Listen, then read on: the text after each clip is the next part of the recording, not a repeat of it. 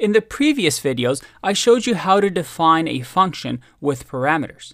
Now, the way I've shown you this and these parameters is what we call positional parameters, or we might want to call them positional arguments. And they're called positional arguments because the position matters, right? If I change our arguments to, let's say, Andre as the second argument, and if I click run, you see that I get hello, smiley face Andre, which maybe is not what we wanted to do.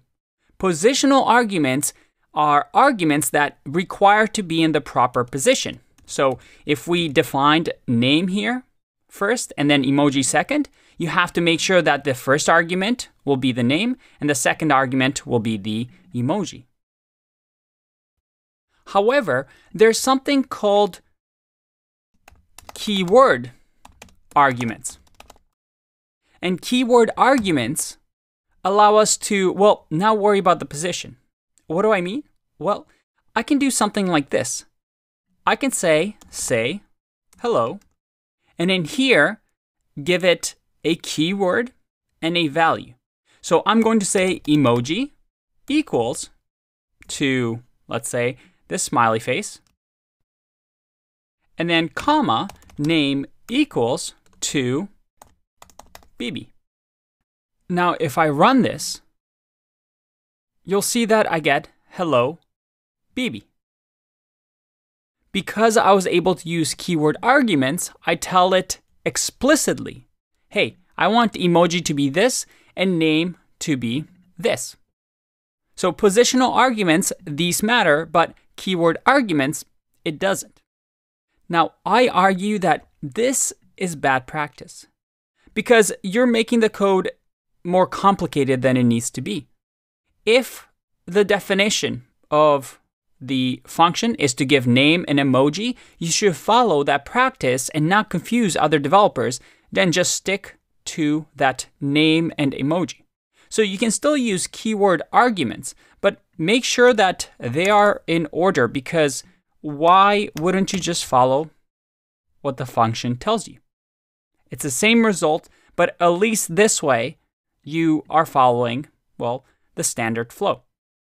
And by the way, these keyword arguments can sometimes be confused with what we call default parameters. I know it can get really, really confusing, but this is something that will come naturally to you after you practice a little bit. So I'm going to just comment this out and show you how default parameters work. Default parameters allow us to give right in here as we're defining the function what we want as default. In this, in our case, let's say Darth Vader is the default name, and the emoji will be this little angry Darth Vader. Well, it doesn't really look like Darth Vader, but this is the emoji that we're going to use. So what does this do? Well, if I run my program, everything works the same.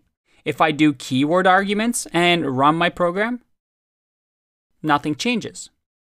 Let's make this a little bit bigger.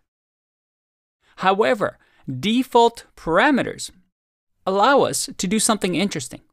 For example, if I run another function, say hello, but I forget to give it parameters or arguments in our case, well, if I run this, I get hello Darth Vader. Because with default parameters, it says if you're not able to get name and emoji because you were called without any arguments, well, in that case, make default Darth Vader and make, make default emoji this little emoji. If I use, let's say, just one argument and I click run, then, well, it will fill that name variable, but anything that we don't give it, like emoji, will be predefined. So this is a great way to make sure that your function runs even if it's called the wrong way. So keyword arguments increases the readability of your code because you know exactly how we're calling say hello. And default parameters allow us to keep our functions a little bit more safe because we make sure that when we use a variable, we're going to have it no matter what, regardless of how it is being called. But positional arguments are also useful because it's nice and clean, right? We're just following what the function tells us to do, and it's easy to read. So there's pros and cons of using each, but I hope this demonstrates to you some of the ways that you can define functions and also call functions. I'll see you in the next one.